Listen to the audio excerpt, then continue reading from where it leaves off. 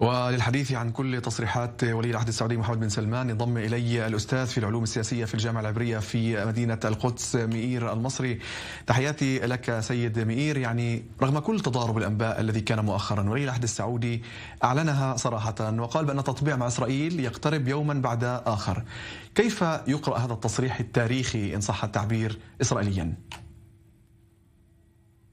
شكرا على الاستضافه استاذي الكريم لا شك في أنه كلام ولي العهد السعودي والرجل القوي في المملكة كلام واضح ودقيق ويأتي في سياق تقارب غير مسبوق بين إسرائيل والمنظومة الخليجية بشكل عام وفي هذا التقارب المملكة السعودية لعبت دورا محوريا منذ البداية حيث أنها ساهمت وبشكل لا شك فيه آه، في التقارب بين إسرائيل والإمارات وإسرائيل والبحرين وفتحت آه، أجوائها للطيران الإسرائيلي المدني بشقيه السياحي والتجاري.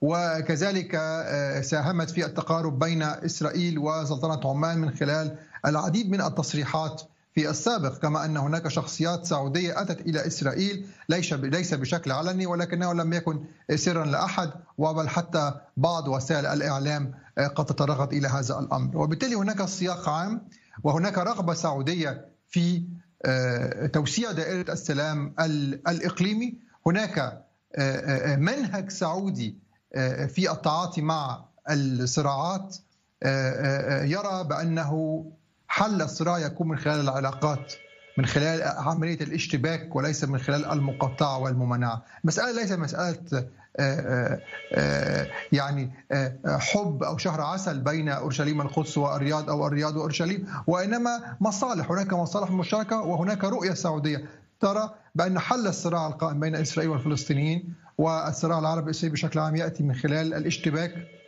وأن تكون هناك علاقات. وأنا اريد أن أقول وكما ذكرتها في أكثر من مناسبة بأنه من الأكثر تاثيرا على إسرائيل خدمة للقضايا العربية؟ هل دولة الإمارات العربية المتحدة التي طبعت مع إسرائيل أم دولة الكويت؟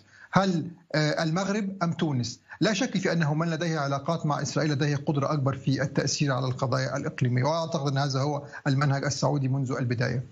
يعني يبدو أنها متغيرات كثيرة من شأنها أن تحكم على القبول الإسرائيلي لمثل هكذا اتفاق وهذا ينعكس ما شاهدناه من خلال تصريحات زعيم المعارضة آه، يائير لبيد اليوم وقبلها أيضا تصريحات من شركاء في الائتلاف الحكومي.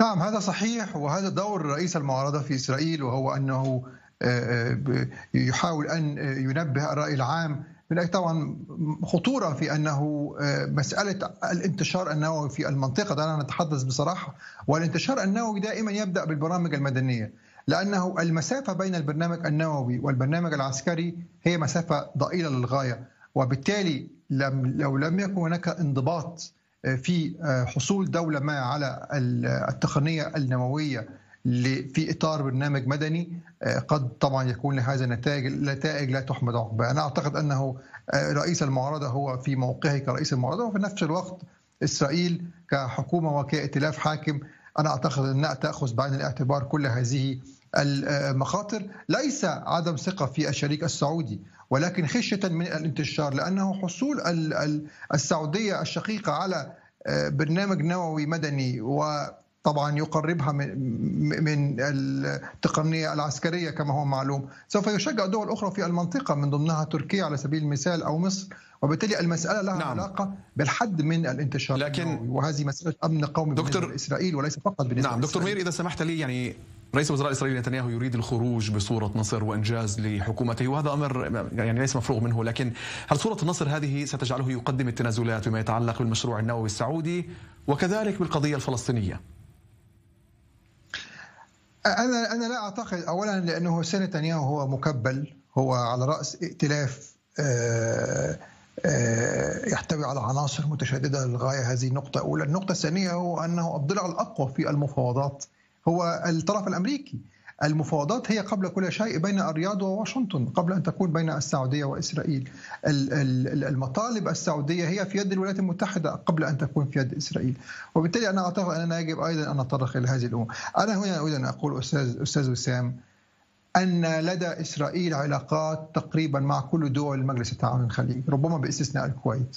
وهذا شيء مفهوم ومعروف يعني نحن اكتشفنا قبل أنا اكتشفت على الأقل قبل شهر أنه كان لدى وفقا طبعا لتسريبات إعلامية أنه كان لدى إسرائيل مكتب لدى الموساد مكتب في الاستخبارات العسكرية الإسرائيلية الخارجية مكتب في أبو ظبي منذ العام 2000 وحتى العام 2020 نعم. لأن العلاقات بين إسرائيل والدول التي ليست لدينا معها علاقات رسمية تدار ليس من خلال وزاره الخارجية وإنما من خلال الاستخبارات الخارجية. إذا هناك علاقات مع الدول التي لم تطبق حتى اليوم مع إسرائيل. هناك علاقات. الموضوع ليس بين نعم. وضوحها ولكن ولكن هو تقدم تدريجي ويأتي في السياق دكتور مئير المصري الأستاذ في العلوم السياسية في جامعة العبريه في مدينة القدس. شكرا لك على كل هذه المعلومات. شكرا, شكرا لك.